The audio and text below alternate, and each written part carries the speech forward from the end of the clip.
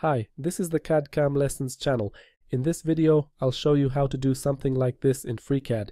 We'll create one solid and then, based on this solid, we'll create another solid that will serve as a kind of negative of the first one.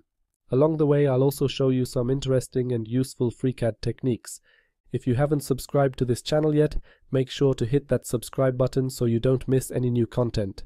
And if you'd like to support my work and treat me to a virtual coffee, you can find all the details in the description below. Thank you for your support. I'll start a new project and create a new parametric part. We begin by creating a sketch on the XY plane. Here I'll draw a rectangle with dimensions, for example 100 by 70 millimeters. Based on this sketch, we'll create a solid with a height of 10 millimeters. On this face, we'll create another sketch. In this sketch, I'll draw a circle with a diameter of 20 millimeters.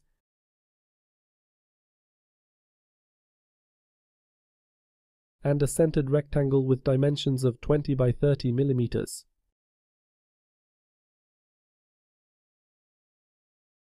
Next, I'll create reference geometry based on this edge and specify the distances from this edge. 20 millimeters in one direction, 30 millimeters in the other.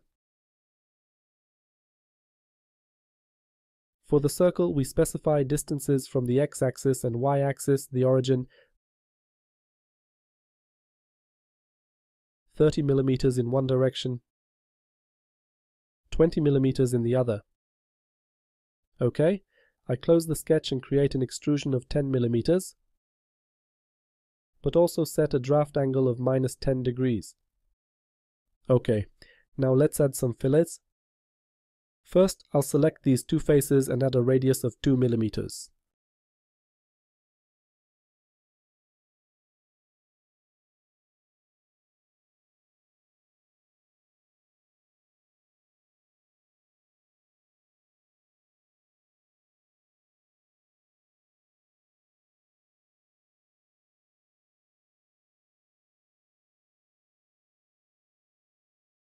Next, I'll create a second solid that will serve as the negative.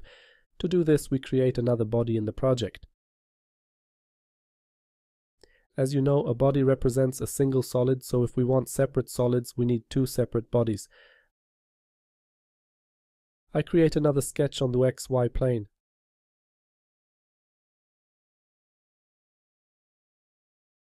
Just like before, I draw a rectangle with dimensions of 100 by 70 millimeters.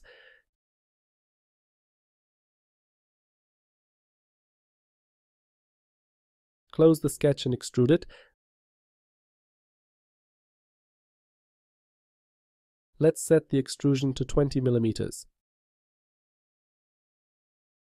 Now we need to move this solid up along the z-axis by 10 millimeters. Okay, we now have this second solid. In this case, it was easy. We just created a rectangular prism and moved it by a certain distance. Once we have this, we can move to the next step subtracting one solid from the other, but I'll show two other cases because sometimes creating such a solid isn't as straightforward. I'll delete this solid and its sketch. Another approach, we can use the face of the first solid as a reference face to create a sketch. Select the face and choose Create Sketch. A window appears asking whether to create an independent copy or a dependent copy. Let's choose the first option, independent copy, and click OK. Now, based on this face, we can create reference geometry. We select the Create External Geometry command. At this moment, I can't select any edge. That's because the original solid is still visible. So I switch to the Model tab, select the solid, and press the spacebar to hide its visibility. Then I go back to the Tasks tab and activate Create External Geometry again. Now I can create reference geometry using the edges of the face. This makes it easier to draw the sketch, especially if the shape is more complex and we want to reuse its geometry. In this case, we still just need a rectangle. Close the sketch and extrude it by 20 millimeters.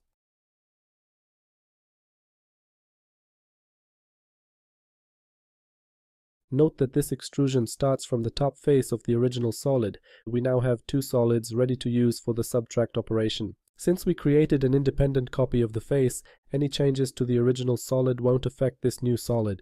For example, if I edit the original sketch and change its dimensions to 120 millimeters,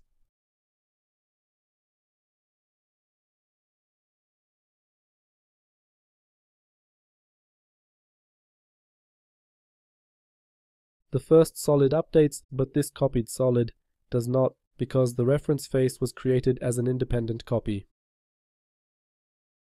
Now I'll delete this solid and repeat the process. But this time, when creating the sketch, I'll choose the dependent copy option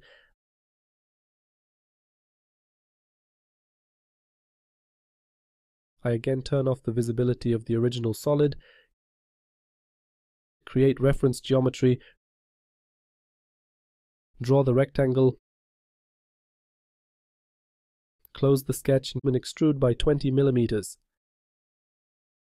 Now I turn the original solid's visibility back on and edit its dimensions. Let's change one dimension to 150 millimeters. The dependent copy updates automatically. The two solids are still linked, this can be useful in some cases. If we want to create a negative shape, we now perform a boolean subtraction. We subtract one solid from the other so that the shape of the first solid is cut out from the second. But remember that in FreeCAD, the subtraction absorbs the subtracted solid into the boolean operation. If you want to keep that solid in the project, you need to make a copy first. Select the solid you want to copy,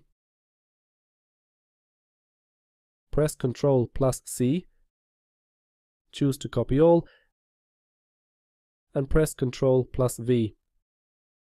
Now we can perform the subtraction. Go to the part workbench,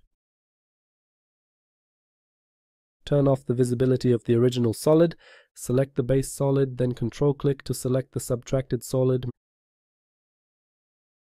and choose the cut operation.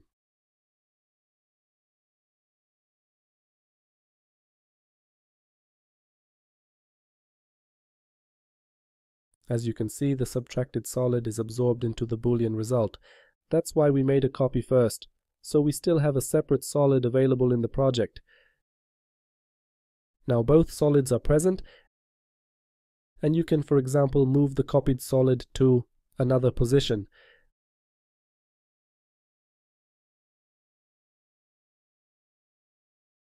This is how you can create a negative of a part in FreeCAD, and this workflow can be very useful in some scenarios. We'll finish here. Thank you for watching and please subscribe to this channel